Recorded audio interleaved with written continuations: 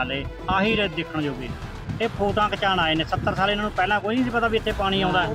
70 ਸਾਲ ਹੋ ਗਏ ਪਾਣੀ ਦਾ ਇਹਨਾਂ ਨੂੰ ਪਤਾ ਅੱਜ ਇਹ ਫੋਟੋਆਂ ਖਿਚਾਣ ਆ ਗਏ, ਹੋਰ ਕੀ ਹੈ?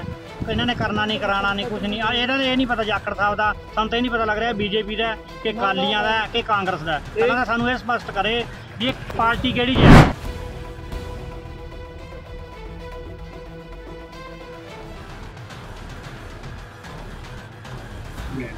ਵਾਪਰਿਆ ਤੇ ਹੁਣ ਇੰਨੇ ਦਿਨਾਂ ਬਾਅਦ ਵੀ ਜਿੱਥੇ ਪਾਣੀ ਇਸ ਤਰ੍ਹਾਂ ਦੱਸ ਰਹੇ ਆ ਤਕਰੀਬਨ ਹਜ਼ਾਰ ਏਕੜ ਤੋਂ ਪਾਲਤੂ ਰਕਬਾ ਸੀ ਜਿਹੜਾ ਹੜ੍ਹ ਦੀ ਸੱਟ 'ਚ ਹੈ ਹੁਣ ਵੀ 300 ਏਕੜ ਤੋਂ ਪਾਣੀ ਖੜਾ ਹੈ, ਜਿਹਦਾ ਨਿਕਾਸੀ ਦਾ ਕੋਈ ਪ੍ਰਬੰਧ ਨਹੀਂ। ਇਸ 'ਚ ਦੋ ਪੱਖ ਹੈ।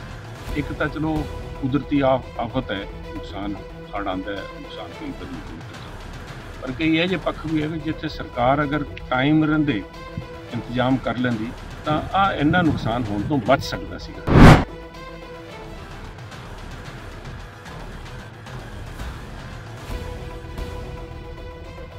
ਜੇ ਭਗਵੰਤ ਮਾਨ ਨੇ ਦੇਖਣ ਲੱਗ ਜੀ ਉਹ ਕਿਉਂ ਦੇਖ ਖੇਤਾਂ 'ਚ ਦੇਖਦਾ ਫਿਰਦਾ ਜੀ? ਪਹਿਲੀ ਵਾਰ ਦੇਖਿਆ ਹੈ ਜੇ ਮੰਤਰੀ ਜੀ ਕਦੇ ਨਹੀਂ ਦੇਖਿਆ। ਬੋਲਣ ਕਲਾਂ ਦੇ ਵਿੱਚ ਪਹਿਲਾਂ ਆਏ ਨਹੀਂ ਇਹ ਮੰਤਰੀ। ਕੋਈ ਨਹੀਂ ਮੈਂ ਨਾ ਪਹਿਲੀ ਵਾਰ ਆਇਆ ਜੀ। ਉਹਨੇ ਤੁਰ ਲਾਤੇ ਜੀ ਖੇਤਾਂ 'ਚ ਲੋਕ। ਭਗਵੰਤ ਮਾਨ ਨੇ ਜੀ ਮੰਨ ਗਏ ਸਰਕਾਰ ਨੂੰ ਜੀ ਇਹੀ ਜੀ ਸਰਕਾਰ ਕਦੇ ਲਈ ਜੀ। ਰੰਗਲਾ ਪੰਜਾਬ ਬਣਨੇ ਵਾਲਾ ਕੰਮ ਆ ਜੀ ਉਹੀ ਕੰਮ।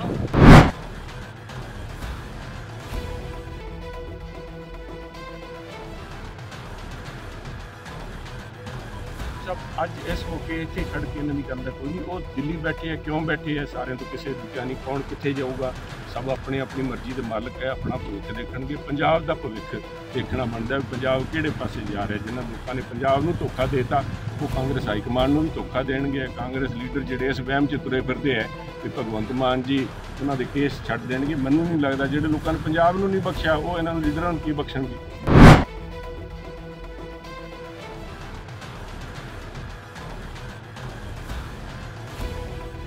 ਅੱਜ ਪੰਜਾਬ ਬੀਜੇਪੀ ਪ੍ਰਧਾਨ ਸੁਨੀਲ ਜਾਖੜ ਪਟਿਆਲਾ ਪਹੁੰਚੇ ਤੇ ਸਭ ਤੋਂ ਪਹਿਲਾਂ ਉਹ ਸਾਬਕਾ ਮੁੱਖ ਮੰਤਰੀ ਕੈਪਟਨ ਅਮਰਿੰਦਰ ਸਿੰਘ ਦੀ ਬੇਟੀ ਜੈਇੰਦਰ ਕੌਰ ਜੋ ਕਿ ਪੰਜਾਬ ਬੀਜੇਪੀ ਦੀ ਜਨਰਲ ਸੈਕਟਰੀ ਵੀ ਨੇ ਤੇ ਉਹਨਾਂ ਦੇ ਨਾਲ ਪਟਿਆਲਾ ਦੇ ਹੜ੍ਹ ਪ੍ਰਭਾਵਿਤ ਇਲਾਕੇ ਸਨੌਰ ਦੇ ਬੋਲੜ ਪਿੰਡ ਵਿੱਚ ਪਹੁੰਚ ਕੇ ਹੜ੍ਹ ਦੇ ਪਾਣੀ ਦਾ ਜਾਇਜ਼ਾ ਲਿਆ।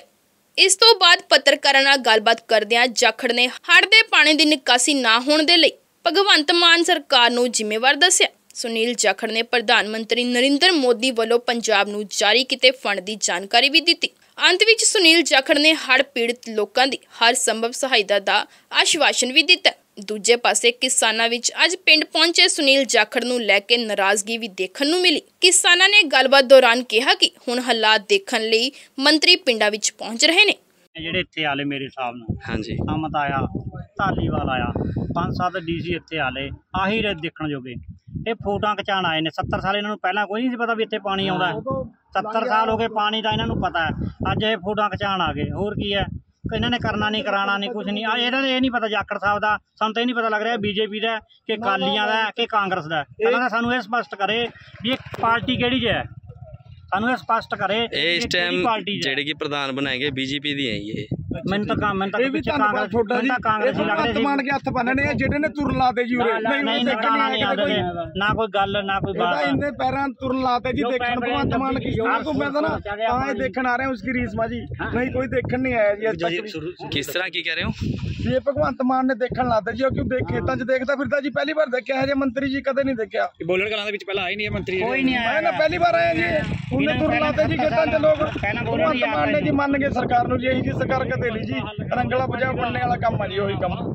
ਆ ਪਹਿਲਾਂ ਰਾਜਾ ਯਾਦ ਕਰ ਵੜਿੰਗ ਰਹੇ ਤੇ ਲੋਕ ਜੀ ਉਹੀ ਕੰਮ ਹੋ ਰਿਹਾ ਜੀ। ਪਹਿਲਾਂ ਰਾਜਾ ਵੜਿੰਗ ਆਇਆ। ਹਾਂ ਜੀ। ਹੁਣ ਇਹ ਆਏ ਇਹਨਾਂ ਨੇ ਕਦੇ ਪਿੰਡ ਦੇਖੇ ਨਹੀਂ ਸੀ। ਵੀ ਇਹ ਇੰਨੀ ਹਾਂ ਪਰ ਬੜੀ ਇਹ ਜੇ ਆ ਗਏ ਆਮ ਪਾਰਟੀ ਦੇਖ ਵਾਲਾ ਆਇਆ ਜੀ, ਹਾਲ ਯਾਦ ਕਰ ਰਹੇ ਜੀ। ਹਾਲ ਤਾਂ ਸ਼ੁਰੂ ਹੋਇਆ ਕੰਮ ਇਹ ਤਾਂ ਸਾਲ ਇੱਕ ਹੋਇਆ ਜੇ 15 ਹਾਂ ਜੀ। 20 ਸਾਲ ਹੋਣੇ ਨੇ ਇਹਨਾਂ ਨੇ ਤਾਂ ਮੁੜ ਕੇ ਲੱਭਣਾ ਹੀ ਨਹੀਂ ਹੈਗਾ ਨਾ ਇਹਨਾਂ ਦੀਆਂ ਗੱਡੀਆਂ ਨਾ ਇਹਨਾਂ ਦਾ ਕੁਛ ਨਾ ਇਹਨਾਂ ਕੋਲ ਗਨਮੈਨ ਸਾਰਾ ਕੁਝ ਛੁੱਟੀ ਹੋ ਜਾਣੀ ਆ ਲੋਕਾਂ 'ਚ ਗੁੱਸਾ ਬੜਾ ਹੈਗਾ ਕਿ ਨਾ ਪੰਜਾਬ ਸਰਕਾਰ ਨੇ ਕੁਝ ਕੀਤਾ ਨਾ ਕੇਂਦਰ ਸਰਕਾਰ ਨੇ ਕੋਈ ਐਲਾਨ ਉਹ ਸੁਭਾਵਿਕ ਹੈ ਲੋਕਾਂ ਦਾ ਗੁੱਸਾ ਜਦੋਂ ਲੋਕਾਂ ਨੂੰ ਆਏਗਾ ਤੁਹਾਡੇ ਸਾਹਮਣੇ ਜੋ ਨੁਕਸਾਨ ਵਾਪਰਿਆ ਤੇ ਹੁਣ ਇੰਨੇ ਦਿਨਾਂ ਬਾਅਦ ਵੀ ਜਿੱਥੇ ਪਾਣੀ ਜਿਸ ਤਰ੍ਹਾਂ ਦੱਸ ਰਹੇ ਆ ਪਿੰਡ ਵਾਲੇ ਨੂੰ ਕਰੀਬਨ ਹਜ਼ਾਰ ਏਕੜ ਤੋਂ ਫਾਲਤੂ ਰਕਬਾ ਸੀ ਜਿਹੜਾ ਹੜ੍ਹ ਦੀ ਸੱਟ 'ਚ ਹੈ ਹੁਣ ਵੀ 300 ਏਕੜ ਦੇ ਅੰਦਰ ਪਾਣੀ ਖੜਾ ਹੈ, ਜਿਹਦਾ ਨਿਕਾਸੀ ਦਾ ਕੋਈ ਪ੍ਰਬੰਧ ਨਹੀਂ ਹੋ ਰਿਹਾ। ਇਸ 'ਚ ਦੋ ਪੱਖ ਹੈ। ਇੱਕ ਤਾਂ ਚਲੋ ਕੁਦਰਤੀ ਆਫ, ਆਫਤ ਹੈ, ਨੁਕਸਾਨ ਹੜ ਆਉਂਦਾ ਹੈ, ਨੁਕਸਾਨ ਕਈ ਵਾਰੀ ਹੋ ਕੇ ਨਿਕਲ ਜਾਂਦਾ ਹੈ। ਪਰ ਕਈ ਇਹ ਜੇ ਪੱਖ ਵੀ ਹੈ ਵੀ ਜਿੱਥੇ ਸਰਕਾਰ ਅਗਰ ਟਾਈਮ ਰਹਿੰਦੇ, ਇੰਤਜ਼ਾਮ ਕਰ ਲੈਂਦੀ, ਤਾਂ ਆ ਇੰਨਾ ਨੁਕਸਾਨ ਹੋਣ ਤੋਂ ਬਚ ਸਕਦਾ ਸੀਗਾ। ਉਹ ਗੱਲਾਂ ਜੇ ਪਾਣੀ ਨਿਕਲ ਜੇ, ਲੋਕ ਆਪਣੇ ਪੈਰੀ ਹੋ ਜਾਣ, ਉਹਦੇ ਬਾਅਦ ਕਰਕੇ ਵੀ ਕਿਹੜੇ ਕਿਹੜੇ ਨੁਕਸਾਨ ਸੀ ਜਿਹੜੇ ਰੋਕੇ ਜਾ ਸਕਦੇ ਸੀਗੇ। ਜੋ ਸਰਕਾਰ ਨੇ ਪਹਿਲਾਂ ਪ੍ਰਬੰਧ ਕਰਨੇ ਚਾਹੀਦੇ ਸੀਗੇ ਬੰਨ ਦੇਖਣੇ ਚਾਹੀਦੇ ਸੀ ਜੇ। ਹੁਣ ਇੱਥੇ ਚੋਅ ਦੀ ਸਫ਼ਾਈ ਦੀ ਸਾਰੇ ਕਹਿ ਰਹੇ ਵੀ ਚੋਅ ਦੀ ਸਫ਼ਾਈ ਹੋ ਜਾਂਦੀ ਸ਼ਾਇਦ ਪਾਣੀ ਨਿਕਲ ਜਾਂਦਾ। ਜਾਂ ਜਿੱਥੇ ਕਿਤੇ ਮਹਿਕਮੇ ਦੀ ਅਲਗਰਜ਼ੀ ਰਹੀ ਹੈ ਡਰੇਨੇਜ ਡਿਪਾਰਟਮੈਂਟ ਦੀ ਵੀ ਇੱਥੇ ਆ ਨਿਵਾਣ ਦੇ ਅੰਦਰ ਪਾਣੀ ਆ ਕੇ ਖੜਨਾ ਹੀ ਖੜਨਾ ਹੈ। ਆ ਪਹਿਲੀ ਵਾਰੀ ਨਹੀਂ ਹੋ ਰਿਹਾ ਜਿਸ ਤਰ੍ਹਾਂ ਤੁਸੀਂ ਸਾਥੀ ਦਾ ਸੁਣਿਆ ਨੈਚੁਰਲੀ ਉਹਦਾ ਗੁੱਸਾ ਸੁਭਾਵਿਕ ਹੈ ਜਿਹੜਾ ਉਹਦੇ ਸੂਤ ਆ ਗਿਆ ਉਹਨਾਂ ਨੂੰ ਕਹਿਣਾ ਹੀ ਕਹਿਣਾ ਵੀ ਤੁਸੀਂ ਇਸ ਗੱਲ ਦੇ ਹੋ। ਸਰਕਾਰ ਆਪਣੀ ਜ਼ਿੰਮੇਵਾਰੀ ਤੋਂ ਭੱਜ ਰਹੀ ਹੈ।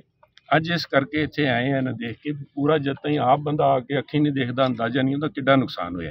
ਜੋ ਤਨ ਲਾਗੇ ਸੋ ਤਨ ਜਾਣੇ। ਉਹ ਪਤਾ ਉਦੋਂ ਲੱਗਦਾ ਜਦੋਂ ਜਾ ਕੇ ਦੇਖਦੇ ਹੋ ਵੀ ਆ ਕੀ ਨੁਕਸਾਨ ਵਾਪਰਿਆ।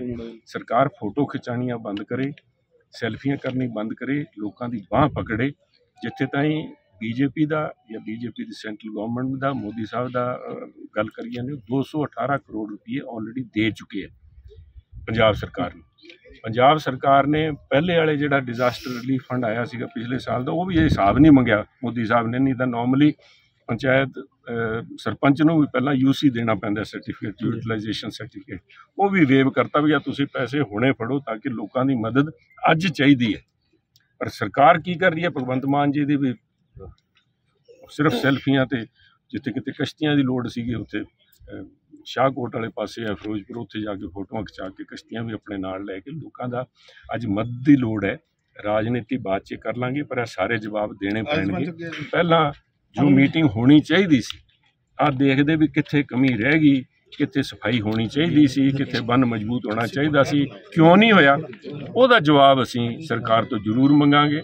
ਮੈਂ ਨਹੀਂ ਸਮਝਦਾ ਵੀ ਹਰੇਕ ਕੰਮ 'ਚ ਉਹਦੇ ਵਿੱਚ ਸਰਕਾਰ ਦੀ ਕਿਉਂਕਿ ਲੋਕਾਂ ਨੇ ਚੁਣ ਕੇ ਭੇਜੀ ਹੋਈ ਸਰਕਾਰ ਹੈ ਦਖਲ ਹੋਣੀ ਚਾਹੀਦੀ ਹੈ।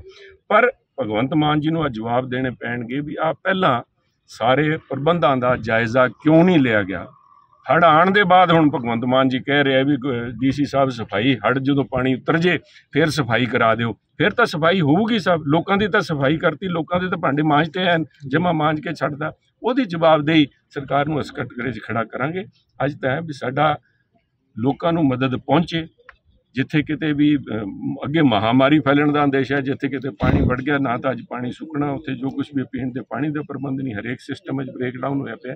ਉਹਦੇ ਵਾਸਤੇ ਅਸੀਂ ਲੋਕਾਂ 'ਚ ਜਾ ਕੇ ਉਹਨਾਂ ਦਾ ਦੁੱਖ ਦਰਦ ਸਮਝ ਰਹੇ ਹਾਂ ਤਾਂ ਕਿ ਬੀਜੇਪੀ ਪਾਰਟੀ ਕੰਨਿਓ ਅਸੀਂ ਸਿਸਟਮੈਟਿਕ ਤਰੀਕੇ ਨਾਲ ਸਾਰੇ ਇਲਾਕਿਆਂ 'ਚ ਜਾ ਕੇ ਜਿੱਥੇ ਜਿੱਥੇ ਵੀ ਕੋਈ ਮੈਡੀਕਲ ਮਦਦ ਕਰ ਸਕਦੇ ਹਾਂ ਹੋਰ ਕਰ ਸਕਦੇ ਹਾਂ।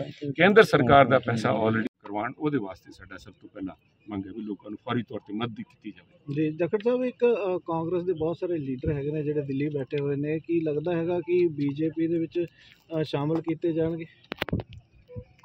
ਸਾਹਿਬ, ਅੱਜ ਇਸ ਮੌਕੇ ਇੱਥੇ ਖੜ ਕੇ ਇਹਨਾਂ ਦੀ ਗੱਲ ਦਾ ਕੋਈ ਨਹੀਂ, ਉਹ ਦਿੱਲੀ ਬੈਠੇ ਆ, ਕਿਉਂ ਬੈਠੇ ਆ, ਸਾਰਿਆਂ ਤੋਂ ਕਿਸੇ ਲੁਕਿਆ ਨਹੀਂ, ਕੌਣ ਕਿੱਥੇ ਜਾਊਗਾ, ਸਭ ਆਪਣੀ ਆਪਣੀ ਮਰਜ਼ੀ ਦੇ ਮਾਲਕ ਹੈ, ਆਪਣਾ ਭਵਿੱਖ ਦੇਖਣਗੇ, ਪੰਜਾਬ ਦਾ ਭਵਿੱਖ ਦੇਖਣਾ ਬਣਦਾ ਵੀ ਪੰਜਾਬ ਕਿਹੜੇ ਪਾਸੇ ਜਾ ਰਿਹਾ ਜਿਨ੍ਹਾਂ ਲੋਕਾਂ ਨੇ ਪੰਜਾਬ ਨੂੰ ਧੋਖਾ ਦੇਤਾ, ਉਹ ਕਾਂਗਰਸ ਹਾਈ ਕਮਾਂਡ ਨੂੰ ਵੀ ਧੋਖਾ ਦੇਣਗੇ, ਕਾਂਗਰਸ ਲੀਡਰ ਜਿਹੜੇ ਇਸ ਵਹਿਮ 'ਚ ਤੁਰੇ ਫਿਰਦੇ ਹੈ ਵੀ ਭਗਵੰਤ ਮਾਨ ਜੀ ਉਹਨਾਂ ਦੇ ਕੇਸ ਛੱਡ ਦੇਣਗੇ। ਮੈਨੂੰ ਨਹੀਂ ਲੱਗਦਾ ਜਿਹੜੇ ਲੋਕਾਂ ਨੇ ਪੰਜਾਬ ਨੂੰ ਨਹੀਂ ਬਖਸ਼ਿਆ, ਉਹ ਇਹਨਾਂ ਨੂੰ ਲੀਡਰਾਂ ਨੂੰ ਕੀ ਬਖਸ਼ਣਗੇ?